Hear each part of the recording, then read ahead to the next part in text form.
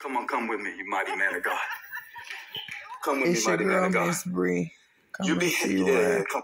Temple, but for now, I need y'all at the gate. and and, and you have to set praise at the gate in your life sometimes. To just get up and almost, if you even have to fake it, fake it. If you have to fake it, fake it. Sometimes driving to church, it's real early when I get here and I won't feel my sermon, but I'll just start driving down the road like I do. I'm thinking about my sermon, I'm not feeling it. I'll just start going, woo, woo, woo. And my car's not self driving, so I'm taking my hands off the wheel every time I clap. So I gotta be careful, start slapping my leg or something. But I have to put the, the Levites or the praise at the gate because I can't get here and wait to see how y'all feel to see how I'm going to preach and do my job. So I got to put praise at the. Amen. Enter his gates. You see what I'm saying? Thank you, Jesus. But these these guys weren't weren't Levites. These were guards. And he didn't just put them at the gate, he gave instructions. Look at verse 2. So powerful. Never saw Nehemiah 7 before.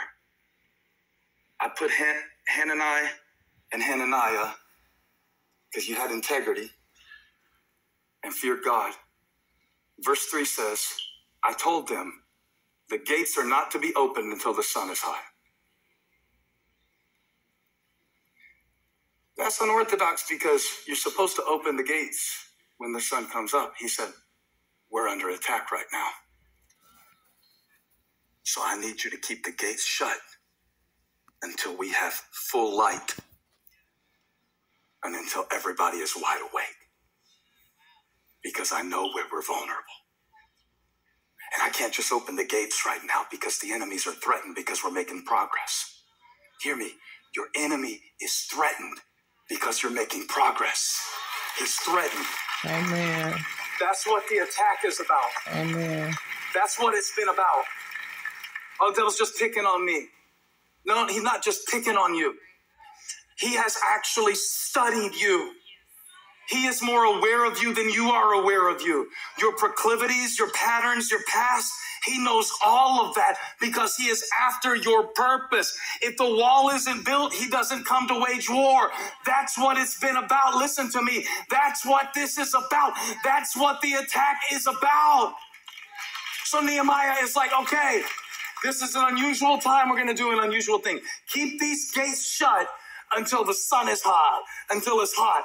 Basically saying, until noon, keep the gates shut. Keep them shut a little while longer. So let me ask you something. In this season of your life where you've been struggling with depression, some of you have been having panic attacks, some of you have been having waves of anxiety. I mean, who doesn't? Some of you have been having suicidal thoughts, some of you not suicidal, but it's just like hard to explain. It's like a low flying, low grade sense that you can't get any victory and sustain it. So I want to tell you something you can do. Keep the doors shut while it's dark. Keep the doors shut while it's dark.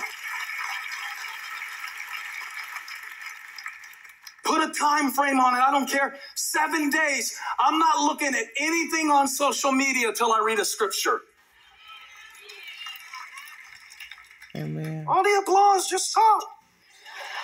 You act like I told y'all to go on a pilgrimage to Jerusalem to the whole. You act like I told you to die on the cross. I'm not talking about a crown of thorns. I'm talking about keeping the gates shut mm-hmm. until you have light. That's why you got to start your day with God. Mm-hmm. That's your door. I don't care. Praise How many of y'all wake up at crazy times of the night thinking crazy thoughts? Put a sermon on your phone and put it in your ear till you go back to sleep. Keep the doors closed in the dark. Mhm. That's not the time for you to be alone.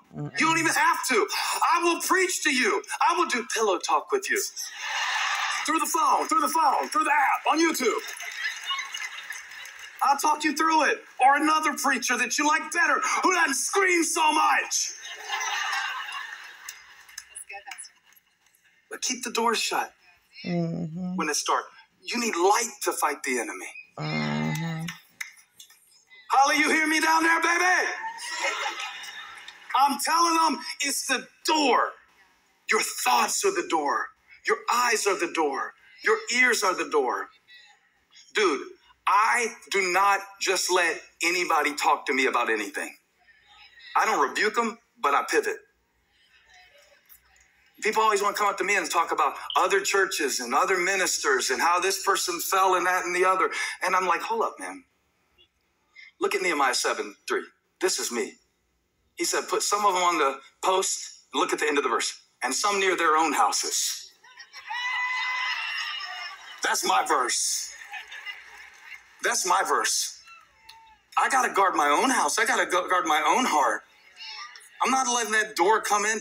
You know, the door to feeling really horrible about yourself is through judging others. Mm-hmm.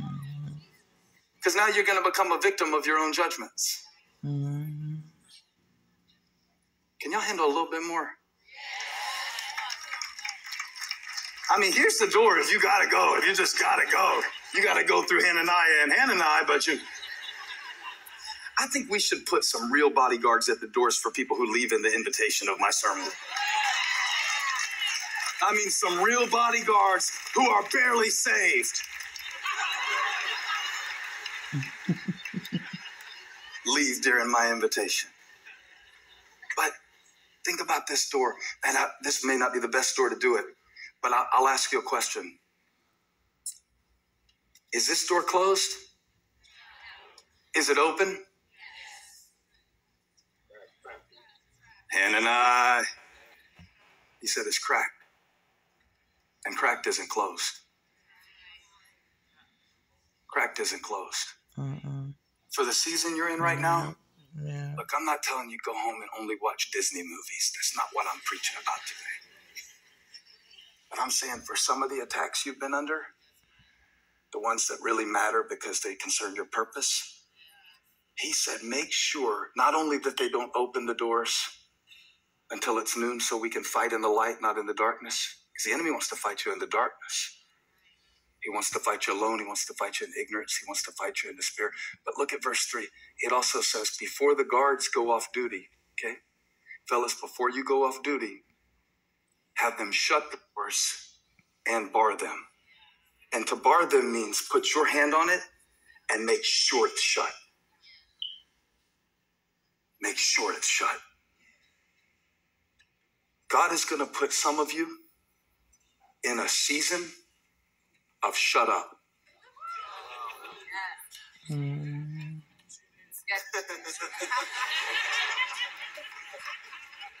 probably shouldn't say that, but I was reading Joshua 6 1 when they went in the walls of Jericho. And look what Joshua 6 1 said in the King James English. Now, the city of Jericho was straightly shut up. Come on, Pastor, that's not what it means. It means that nobody was coming and going. I know, but look at verse 10, what Joshua told them to do while they marched around those walls. Joshua commanded the people, saying, You shall not shout nor make any noise with your voice. Neither shall any word proceed out of your mouth until the day I bid you shout. Then shall you shout. Because I'm concerned. If you just say what you feel in this season, you are going to speak yourself right into Satan's attack. Mhm. I'm in a season of shut up. Because what God has for me is too great, right? He brought me to Jericho. This is the first city of the promised land. And God said, I need you to just take a sabbatical right now from other people's opinions. That's your door. You can't stop them from posting. You can't stop them from talking. You can't stop them from hating. You can't stop them from disliking. You can't stop them from being idiots. But it's your door that lets their voice in. Even if they talk around you, it doesn't have to get in you. Come on, you know I'm preaching the truth. This is why you're quiet. Okay, let's do it. Let's do it. Don't shout. Just just everybody close your door. You know how many times I had to do this this week while the Holy Spirit was giving me this message? I mean, I start to complain and I'm just letting it out, right? No, you're letting it in. Because your words have power. And you keep describing the same problem. These stupid walls of Jericho. Oh, this stupid situation. Oh, this inflation. Oh, these gas prices. That's a good icebreaker for like three weeks. But come on, is that all we're ever going to talk to each other about? Is what's wrong? Maybe God wants to put you in a season of shut up so he can bring you into a season of shouting. Amen. Thank you, Jesus. Thank you, Jesus. Listen, it's not the devil defeating you. He doesn't have any power over you that you don't give him, not with Jesus inside of you. So we've got to get serious about our joy. We've got to get serious about our peace. We've got to get serious about our mind. We've got to get Amen. ser- serious about our sanity. We've got to get serious about our mental health. Yes. We got to get serious about all this stuff. And God is bringing a prophet to you today. Like Holly said to me, what would you do with it, even if God gave it to you? If God gave you peace, would you protect it? Mm, If God gave you a relationship, would you defend it? mm, How is the city of your soul? I'm walking around today just wondering, how's it going in there? You got those doors up yet? I want to see you next week. Next week. I'll probably be here next week. How about you? And I just want to be like, where did you close the door this week? And just go like, you know what, man? You don't even have to offend anybody. You do not need to go up to people this week. It's love week for crying out loud. Don't go up to people like, no, I'm sorry. I'm in a season of shut up. You shut up. I can't talk to you anymore. You're toxic. But I'm saying, are we praying for God to deliver us from devils that He has given us the power to defend ourselves from? mhm. It's your door. Yes, yes, yes. And I wonder if I was as concerned about what's getting in and coming out, Mm, would I be having to pray to God about half the stuff I'm praying to Him about? mm. Stand up, I'm done. Clap those hands. Give God praise. Amen. Was that good teaching today? Amen. Did you receive something? Huh? Come on, Elevation God spoke to you, Church. give him a praise. Don't praise Shout me. out to If he brought you a word, that was him, not me. Elevation Church. Amen. All right. So I want us to get I want us to get better about one thing in this church. I think this is the most amazing church in the world. I love being your pastor. One thing I want y'all to stop doing so much is running like right when I get ready to dismiss, like it's over. The sermon doesn't even make it out this door, it is not going to give you victory in your life this week. Okay. Yeah. So, every location, just stop where you are, just stand up for a minute. Let me pray with you. Let me pray that what you heard today, because the Holy Spirit was speaking to you. I could see it in some of your eyes. You look like a deer in the headlights of the Word of God. Like Amen. you looking at your spouse. Did you talk to Pastor Steven this week and tell him what I was doing? Get a restraining order on this preacher. I think he's been sneaking around my house. I think he's got some cameras up. That's my new goal. I want to preach so full of the Holy Spirit that you put a restraining order on me because you think I'm stalking you during the week. But how cool will it be that you will have a reminder of this sermon even when you leave today?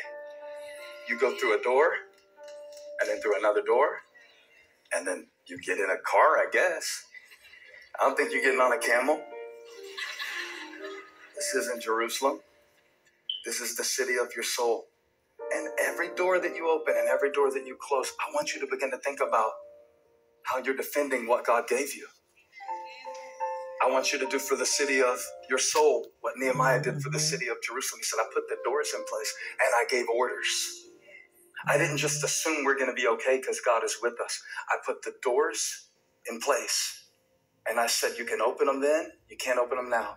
Y'all, even in my daily disciplines, I am so unfocused. I am so unfocused. When I go to do a physical workout, I can't take my phone in the room to do a workout. I know myself. I have to put my phone in another room. And did y'all know the new iPhone has an off button? Anyway, that's a special feature. I'll show you how to use it sometime. It's amazing. And then a lot of times, watch, when I shut that off and just do my workout and focus, the Lord will give me my sermon because I closed the door. He'll just give it to me. He'll just give it to me. But you got to close the door. What did Jesus say? When you pray, Matthew 6 6, go in and close the door. Yes. You can't pray and ask God to defend you from the devil for stuff that you left the door wide open to. He'll help you, He'll give you grace. But don't you want victory too? Yes. I want victory and grace. I do. And so, one way we let God in, we just lift our hands. So, do that right now. That's not a charismatic thing. Stop it. People do that. People do that at football games when they're excited. People do it in a war when they surrender. So, you could throw your hands up. And I love what Revelation 3:20 said that Jesus was speaking to the church and he said, "Here I am, I stand at the door and knock. And if you hear my voice and open it, I'll come in and eat with you." You've been sitting at the wrong table all week. You've been sitting feasting on the wrong thoughts, worrying about the wrong stuff. For some of us, it's obsessively checking our bank balance. Yeah doesn't always come through something that's so evil. But once we open that door, the devil just has his way. But not today, Lord. Today we hear your voice and we hear your knock and we're opening the door to you. Come, Lord Jesus, into every heart that's open to you. Some hearts are hardened, but a lot of these hearts today, Lord, they're really serious. They're sincere. They want your presence. So come, Lord. Just say it if you mean it. Say, Come, Lord. He will hear that invitation. He'll respond to that invitation. Say it again. Say, Come, Lord. Come, Lord. Come, Lord Jesus. The door of our hearts are open to you. We invite your presence, your peace, your joy, your wisdom. Show us this week where we need to put our hand on the door and make sure it's shut. Conversations we need to have, conversations we need to discontinue. We want to be right with you. We want to be in a peaceful place. I bless you and I thank you for the privilege of sharing your word today. I thank you that it won't return void. It will Thank accomplish you, that which you sent it to do.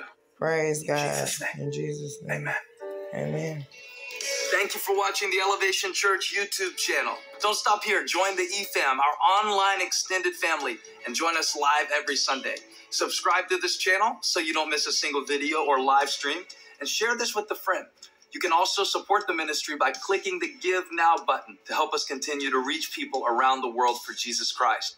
Thank you again for watching. God bless you. Subscribe to this channel so you don't miss a single video or live stream, and share this It's your girl, Miss Bree, sharing Elevation Church with you. We're going to take this across the globe. Jesus Christ is Lord. Deuces.